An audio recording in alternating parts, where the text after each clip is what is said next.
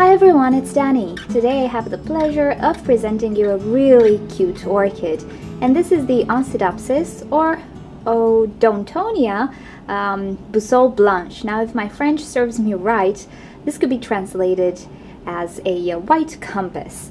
Now this orchid can be found under these two names simply because there has been quite a lot of um, reclassifications and so on. So all odontoglossums have been reclassified to oncidiums and also there is a distinction between Miltonia and Miltoniopsis now, which is not a bad thing. Most probably though you will find this orchid under the name of Odontonia. Anyway, that doesn't really matter. So as you can see, it is a white orchid with some patterns on the lip and just a few spots, purple spots on the petals. It is not a big orchid, but it is quite beautiful and it can produce multiple flowers on a flower spike. Now you will find its full parentage in the description of this video, although on the RHS I only found it as Boussole, not the Blanche. That could be a cultivar name, I'm not really really sure, but I'm pretty sure this is the Blanche or Blanche, sorry, variant.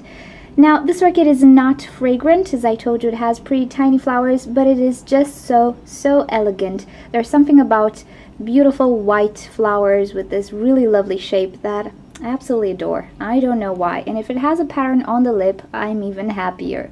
Now, the orchid itself is really not tiny. It has quite long leaves, as you can see, and quite large pseudobulbs. And also, the flower spikes tend to be quite a bit tall, not necessarily like um, like a Sharry Baby, but still quite tall.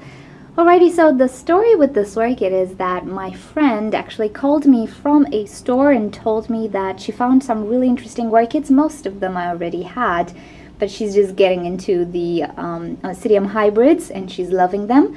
But she also sent me a picture of this one, and I told her that I really, really wanted, since it reminds me of the orchid that I actually lost to snails, the Beallara. Initially I thought it was a Beallara, but it is, it is not. And she actually told me that she wouldn't really buy this for me because it is not in good condition, and I will show you how the pseudobulbs look like. So as you can see, they're pretty thin and pretty, pretty shriveled. She's really not in good condition. And she thinks that this orchid will not make it and it will be a surprise if it does. Also, it wobbles in the pot like heck, so I'm pretty sure there are no good roots in this pot. But I told her, you know what, I'm not gonna do the same mistake again as with the other one. I know what to do now, and um, yeah, I'm pretty sure I can actually save this little orchid, so just buy it for me she felt really, really bad that I asked her to do that, and she said that she's gonna have me on her conscience. But this is a challenge.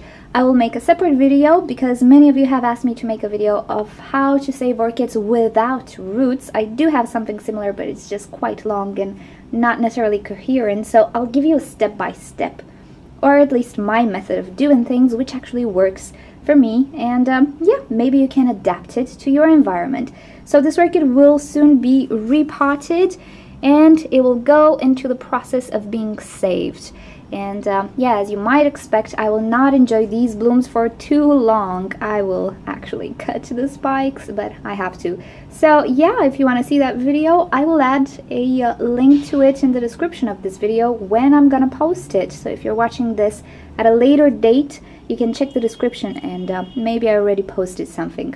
Alrighty, thank you for watching this video. Hope you liked it. I don't know if I mentioned, it is not fragrant, but it's just really elegant, really pretty orchid. So now you know the name and you can actually search for it. So if you want to see more videos, don't forget to subscribe. If you have suggestions or questions for me, just leave me a comment and I will answer, but please make sure in your G Plus settings that people outside your circle of friends can actually reply to you. Otherwise, I won't be able to reply. Thank you for joining. I'll see you next time. Bye!